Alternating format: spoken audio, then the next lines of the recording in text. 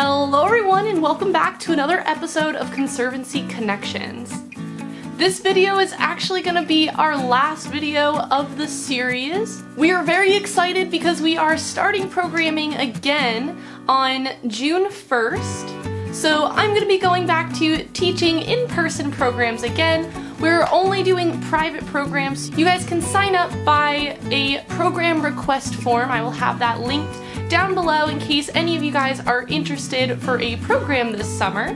We want to say a big thank you for everyone who has supported us during this time. We are very excited to get back to somewhat normal. I wouldn't say that it's going to be a normal summer, but we are very excited to get back to programs. If you guys don't know, hi guys, I am Kelly. I am the coastal educator from the Bald Head Island Conservancy. The Bald Head Island Conservancy is a small environmental nonprofit located on Bald Head Island, North Carolina. We are known for our sea turtle conservation, barrier island studies, and education programs. During this crazy time, we have been unable to teach in-person programs and we have been unable to hang out with you guys in person, so we have been doing it virtually. So this is going to be the last video of this series. We may start these up again in the future, but for now, I'm gonna be teaching programs in person. Without further ado, let's learn about an animal. Today we're gonna be learning all about frogs. And before we get into the details, I wanna give you guys a little bit of background info on what a frog even is. A frog is an amphibian. Amphibians are classified as anything that lives in the water and on land. So there are a couple different types of animals that are amphibians, and these are frogs, toads, salamanders, newts, and caecilians. And caecilians are a whole nother weird animal. All of these animals start out aquatic, so they have gills similar to a fish. So they need this water to survive. They hatch out of jelly-like eggs, and frogs specifically have a cluster of eggs that are laid all together while toads have long strings of eggs as these animals grow older, they start to grow those legs, they start to get rid of those gills so that they can breathe on land. Frogs are also vertebrates, so they have a backbone just like you and me. So I want you guys to reach up and touch the back of your neck and feel that backbone. That is your vertebrae, and you are a vertebrate just like our frogs. Frogs and toads are very similar creatures. They have very similar life cycles, but the main difference between them are their legs. Frogs have very long back legs made for leaping long distances, while toads have pretty short back legs and they will hop a little bit slower. Toads also usually have larger mouths than frogs, but frogs still have very big mouths. Frogs and toads have very similar life cycles, and they start out as those little jelly eggs that they hatch out into tadpoles. Tadpoles look like little fish, they have gills, and their whole job is to swim and to eat and to swim and to eat, and this is what they do until they finally grow back legs.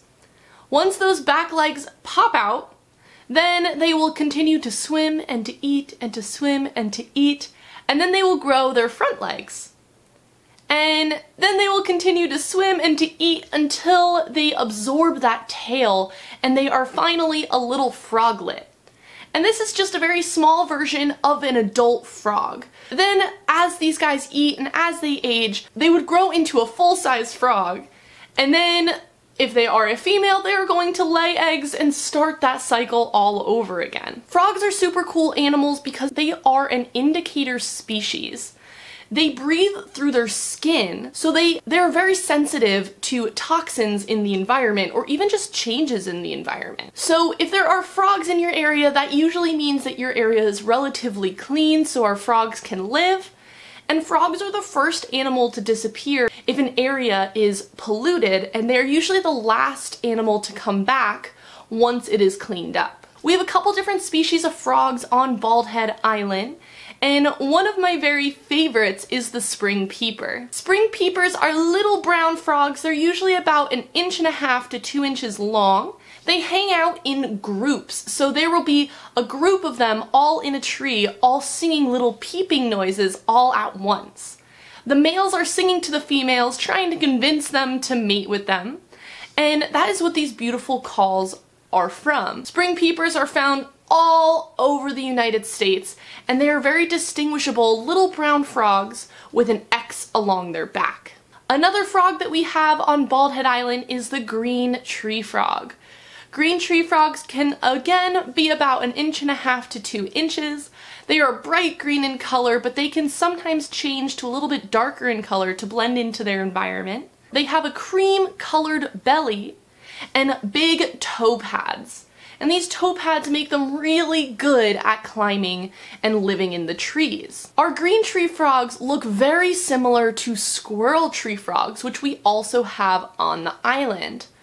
Squirrel tree frogs are also green and they also have cream colored bellies, but our green tree frogs have little yellow spots on their back and a white stripe along their sides. And that is the main difference to tell them apart. Squirrel tree frogs are about the same size. They're also bright green, but they can be brown in color as well if they are changing that color. Our squirrel tree frogs make a noise similar to what a squirrel sounds like when they're chittering. And that is how they get their name. Another really cool frog that we have on the island is a narrow-mouthed toad. And it is confusing that they are called a toad, but they are actually a frog.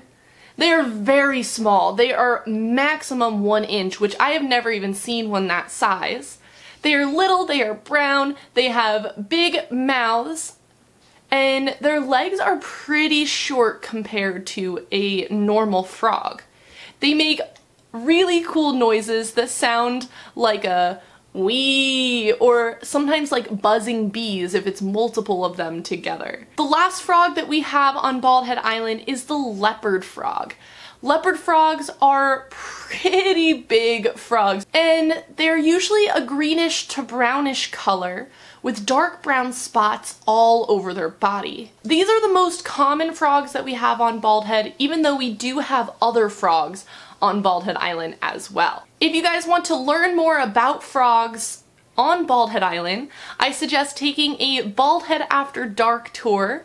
We go looking for these frogs and also toads, and we teach you how to listen for some of the frogs on the island. If you guys want to help our frogs since they do have this sensitive skin, you guys can pick up after your pets whenever they use the bathroom so that that waste isn't going into their water.